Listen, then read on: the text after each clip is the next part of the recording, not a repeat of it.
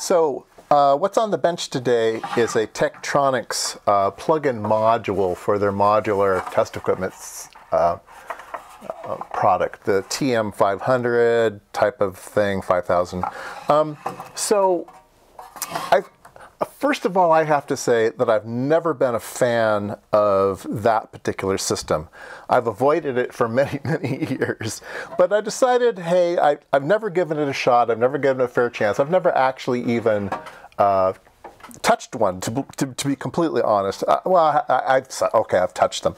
Um, but um, I've never felt the need to have one. I always thought they were a bit cheesy mechanically. I thought they were cheesy electronically.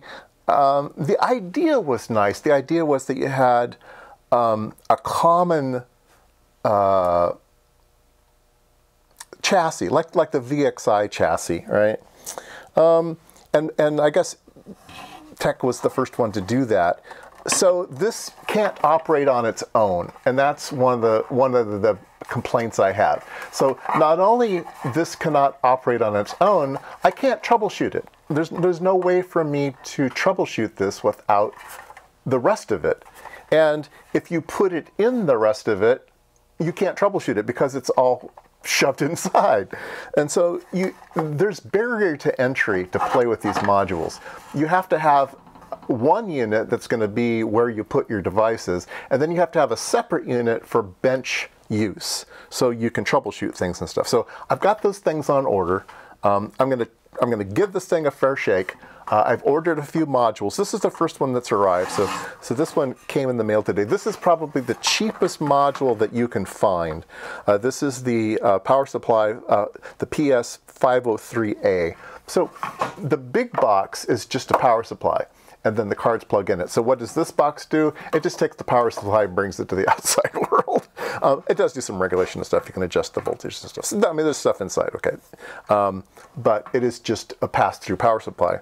Um, uh, or you can say that's half of the power supply. So I think I paid 20 some odd dollars for this. Um, and uh, so like I said, I, I, was never crazy about the mechanical construction of these things. Uh, this one has just a uh, some some sides that come off. They're a little bit cheesy and they bend they bend easily. This one, the, both of these are all bent up. And uh, the reason I got this one cheap is because uh, something smashed it in the front, and the uh, front panel is all is all really bashed really bashed in. It's got a big big bow in it. So. Um, I think today I'm going to take all of these things off, pull pull the front off and straighten it uh, the right way. I thought maybe we could reach in there, but nah, it makes sense to just pull it out. There's a there's a, a sheet metal plate uh, that is the mechanical strength, and then there's this plastic uh, front panel that goes on it. And the front panel, these plastic front panels are always broken, 100%. They're always broken. They're always broken on the corners. This one's no exception. It's broken here. Uh, the front's been bashed. This thing's been around the block. It's been heavily, heavily bashed in right there. So, um, yeah, okay, I paid I paid a little money for it, um, but um, it, it, just doesn't seem real secure. But got some giant uh, capacitors in it. Um, don't know if those are good or bad. Some other capacitors down here. Um, one of the other things that are uh, a negative for these is the sockets that uh, TI used. They have really terrible edge connection sockets and most people just say, ah, immediately just resocket the whole thing. That's a lot of work. I mean, recapping's bad enough, but resocketing everything, oh my goodness. Um, eh, you know, okay, like I said, I'm going to try to give a fair assessment to it and everything. Um, they have a keyed uh, edge connector, so you can't put it in upside down. Uh, yeah, it's got this funky little pull tab. With oh, they always break off. This one's intact actually. Uh, uh tab that's always broken off. So uh, the things just weren't they just weren't rugged. And like I said, they're not self-contained. I like units that are all self-contained. I can troubleshoot them all on their own. And anyway, I'm waiting for the, uh, like I said, I'm waiting for the bench supply. I've ordered two um, modules, a three wide and a two wide. The two wide I'm going to turn into my bench supply to do troubleshooting with. And then the three wide will be my golden standard and I'll put everything into that. So anyway, so I think today I'm going to see if I can remove all the front knobs. Some of them I'm going to have to desolder the wires on. Some of them I can just loosen the connector and push it through the other side. So that, that's, that's what I'm going to do. Uh, in case people haven't seen one of these before, let me change the camera angle a little bit here. Um, there is a uh, volts knob here, some volts knob here, coarse and fine. There's a pull that puts it into tracking mode for the dual supply. So there's uh, 0 to 20 volts here and 0 to 20 volts here. Um, and I don't know if this one's negative. It's not marked negative. Oh yeah, it says negative here, but it's not marked negative here. So that, um, come on guys, mark the damn thing negative right here if, it's negative. Anyway, so negative 0 to 20, positive 0 to 20, and then here's a 5 volt. So the 5 volt comes out at 1 amp, and the other ones come out at 1 amp if you have the, so that's another problem with these things. If you put it into the right power supply and the right socket of the right power supply. It's got this switch in the back that tells it if it's high power or low power. If it's low power, then it's only 400 milliamps on both sides. And uh, there's current limit adjustment. So, I mean, it's full power supply. Um, 0 to 20, 400 milliamps, and plus you get a 5 volt. So, yeah, it's, it's, it's nice. It's okay. And then there's an output uh, on off. And I don't know if that switches all of it or not, or just these. I'm not sure output on and off. Maybe it switches them all. I'm not sure. Um, but yeah, let's, uh, let's tear this thing apart and try to get it straightened.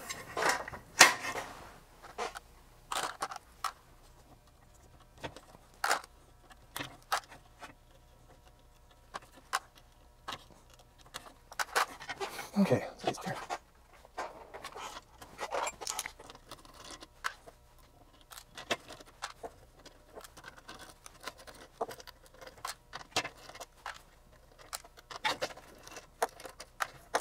All right, and these are come off from the inside. How clever is that? So I'm gonna have to, uh, have to these and uh, put it back.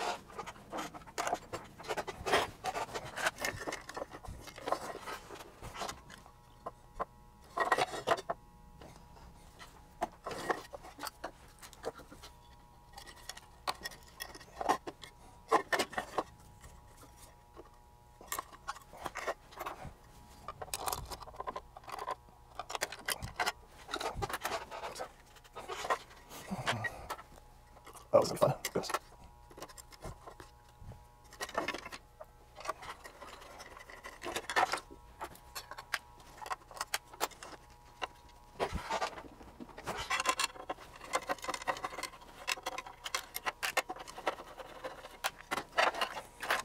Yeah, so I think it's here. I pull it. I pull the uh, capacitor up. Just get the screw. Oh, I guess I put five pounds or whatever. I'll come back. That's it. Well, okay. I think it's not easy much. Can pull, pull things back, but that's not quite so. Oh, great. What? That's stupid. I gotta see this. We got these two lights here, okay? Okay. We got these, these two indicators here, and we got this indicator here and here. We'll just rearrange these, and those two are incandescent. Incandescent. Yes, look, incandescent. That's stupid. Oh, yeah. Yeah, I'm trying to. Oh, this is ridiculous. The LEDs are on sockets, so that's. Is not helpful. Alright. Wow. Okay, it. Solder this one. Right. Sorry about that. Oh, yeah. Oh, I need to get solder off because I won't be able to. Yeah. Screw won't be pass. Uh, What's that? I don't know what that That's gonna come. These have to be pretty clean. Where do you get? There's a little bit of wire left over. I don't think these were. I don't work that much. Yeah. There's still just a solder on the threads, so it's just not easy to easy to apart. It's just not. Get that there. We go.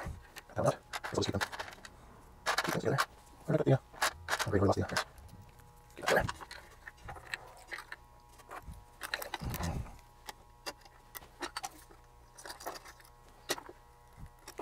Okay, that one's that one. Okay. And okay.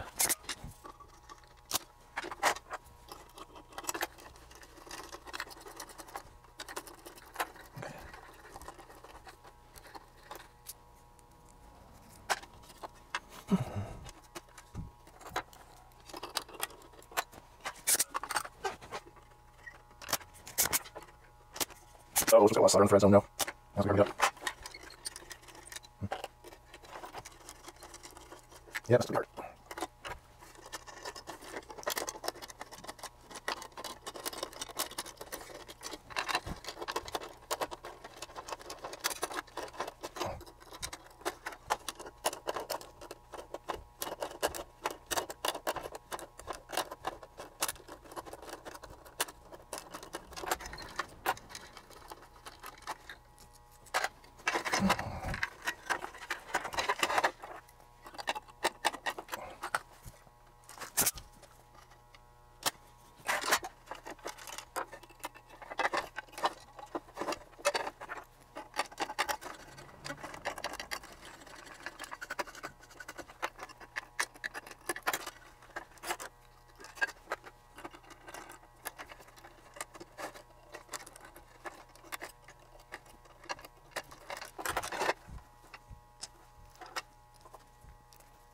Looks like a little orange came out. Save that.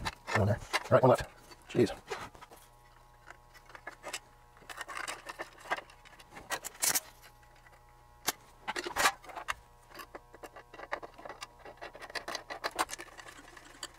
That's amazing.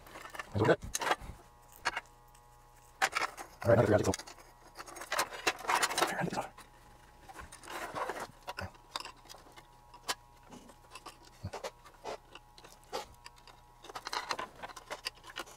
Oh, heck, that's over. Look at the on that. Wow.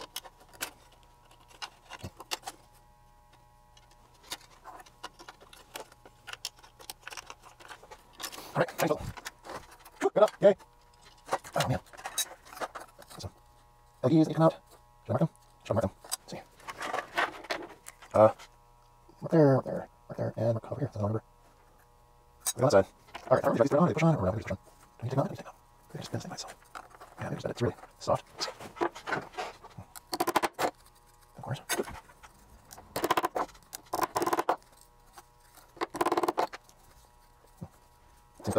Better. So wonky. Looks straight. Looks straight. Let's just that too. This is, this, now you can get these screws. Let's not get these screws. It's hard to in some ways. Oh, it's got a little, a little funny tension on the screw there. Yeah, it's loose too. Hmm. All right. Let's go check. It's like, oh, these ones check these. All right, let's put it back together.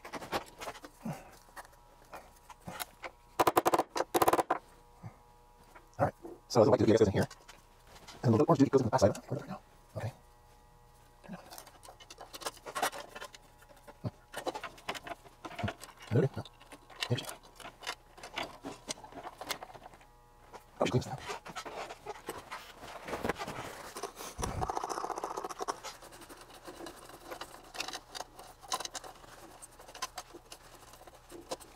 Okay. Good enough. Good enough. Let's, let's, let's, let's, let's, here.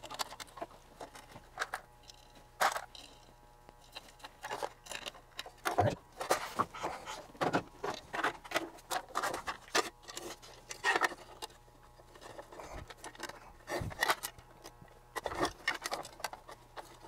Little tab that has a little slot. It's not, it's not engaging very well.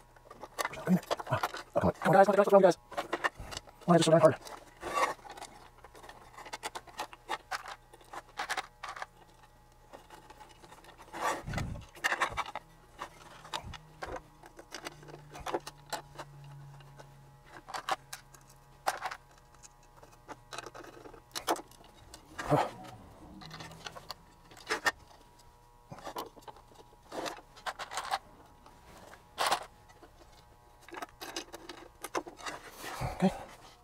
Where did I go? Missing.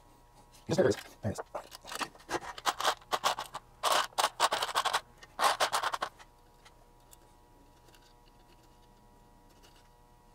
Ah, come on. All right. Now, I can all the binding bolts again. I'll go outside.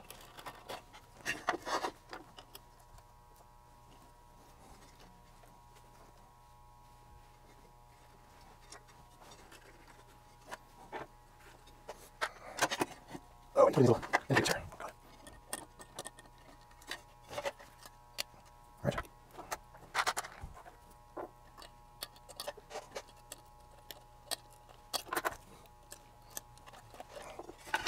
Wow. Can I just see guys? You guys? Yeah. All right. Oh goodness. Big, big wires are. That makes sense. Big wires. Nice.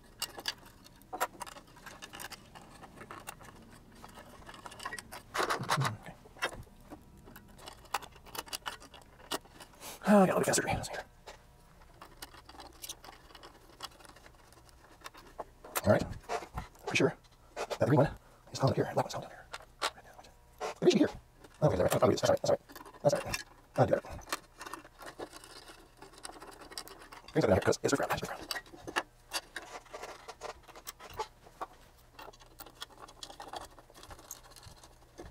All right. That's right.